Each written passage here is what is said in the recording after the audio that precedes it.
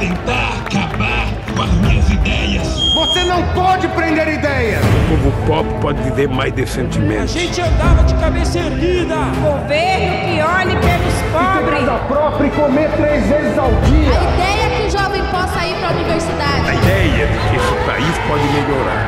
Pelas mulheres, pelos negros, pelos nordestinos. Elas já estão pairando no ar e não tem como prendê-las. Tínhamos geladeira, tínhamos